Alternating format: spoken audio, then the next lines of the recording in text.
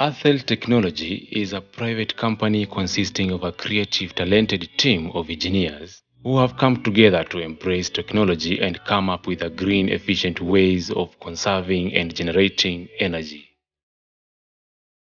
Where I come from is a town called Kwale County. This town was just green, trees everywhere, you could see forests, and people just excited about farming. After a couple of years when I went to school, I came back with one of my friend who's, a, my, who's my partner. We saw a big problem. The communities were investing more in cutting down trees to find a cooking solution.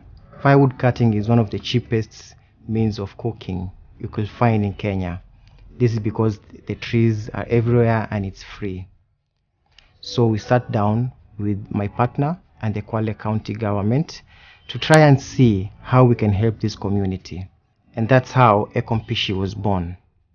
Imagine having a cooker inside your house that uses sunlight from outside. EcoMpishi is a solar power cooker created by Athel Technology. Currently, we are having single plate burners and double plate burners. Each burner contains of two coils. Each coil is of 400 watts.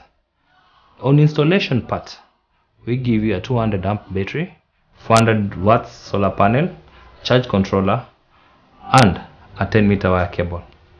EcoMpishi is a safe cooker to use since whenever it gets hot, the outside part does not get hot. It's just the hot plate itself that gets hot.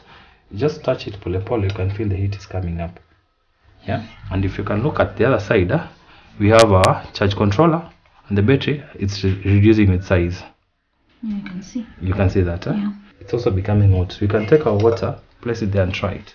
It will take at least seven minutes for you to have one liter of water boiled, fully boiled. Seven minutes only. Only seven minutes. Wow, that's nice.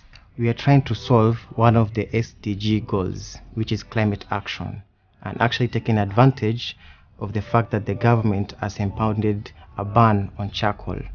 The issue of deforestation is a worldwide problem that we are trying to solve, and having this new technology cooking solution can end this problem, and this is the start.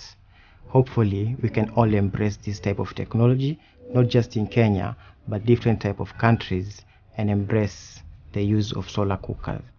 That is the EcoMpishi. Athel Technology, your renewable cooking solution experts.